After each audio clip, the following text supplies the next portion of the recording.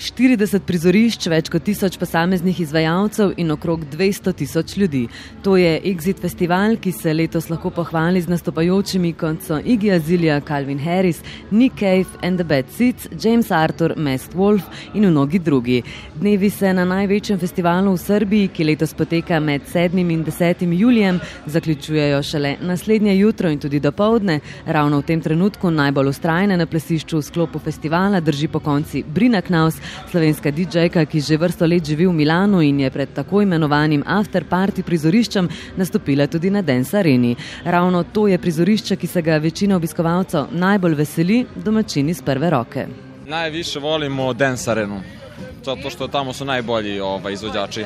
Bili su Karl Cox prošle, preprošle godine, sad je ovaj, kako se zove, brate, ne znam, ja sad, ima ih, ima ih dosta. Uh, you're in Serbia, there's a festival, it's amazing. Um, everyone, like, we're in the campground and everyone's getting along. It's amazing. Tonight, well, basically the closing act. So almost any day, basically, we have to stay until extremely late because the headliners are like early morning or middle of the night. Well, after Corona, basically last year in the summer, every year we go to one of these big festivals. And last year, summer, this was the only big festival in Europe to continue because everywhere else it was abolished. So, come I think July or August, we got the first uh, email that you can already buy tickets for Exit 2022. So, August last year, we said, all right, even if we're going through another Corona year, at least Exit will go ahead. So, let's go there. Obiskovalci iz različnih držav so nama zaupali, da se še posebej veselijo zaključnih nastopov, ob katerih bodo plesali do jutra. Mnogi od njih so si vstopnice za festival priskrbeli že lani in se zanašali na to, da se bo Exit letos nedvomno odvil, saj je bil lani prvi veliki festival, ki mu je to po pandemičnem zaprtju družbe uspelo. Dodali so, da je Exit povsem drugačen festival, kot so jih vajeni, ponaša pa se z izjemnim prizoriščem in odličnim vzdušjem. Sogovorniki so poudarili, poudarili, da so domačini izjemno gostoljubni in odprti, kar so doživeli tudi na lastni koži. Kroz četiri dana će nam kroz kapije proći više od 200.000 ljudi, um, više od 100 zemalja svijeta. Naravno, uh, mogu pohvaliti ponovo našu publiku iz Slovenije koja ponovo prednjači iz ove naše regije. Slovenci su tradicionalno najjača publika uh, koja dolazi iz ovih država iz ex-Jugoslavije. Tako Sanjin Đukič, ki na Exitu skrbi za odnose z javnostjo. Pohvalil je slovensko publiko, saj po številu obiskovalcev v regiji še posebej stopa.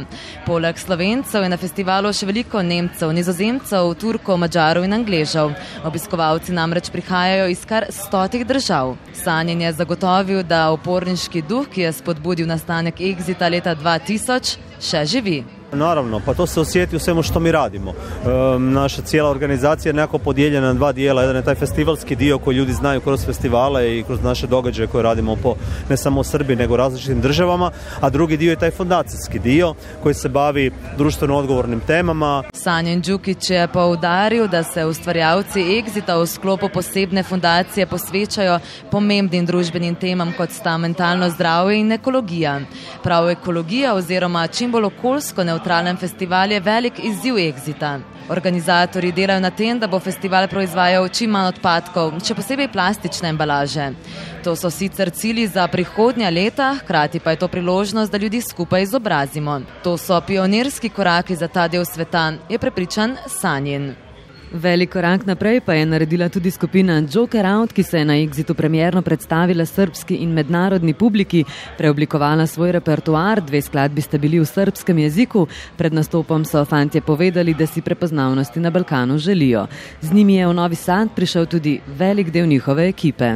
Pridružili so se nam ljudje, ki so po poti izrazili neko spoštovanje in dejstvo, da smo jim všeč in so se nam pač pridružili v svojih specializiranih področjih. Naprimer, tukaj zraven nas je Mark Pirc, eh, naš uh, videograf, ki nas tudi zdaj v tem trenutku snema.